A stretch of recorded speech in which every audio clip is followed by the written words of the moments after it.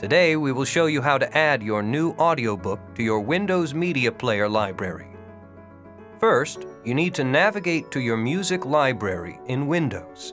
Clicking on the Start button and then on Music is the quickest way. Once in the music library, you need to make a new folder for your new audiobook. There is a New Folder button right on the top. Enter the name of your new audiobook. Next, put the MP3 CD into your disk drive. A pop-up for the disk will show automatically. Click on Open Folder to view files from the list.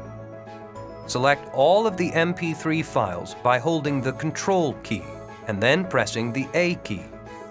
Next, click and drag all of the MP3 files into the new folder you just created.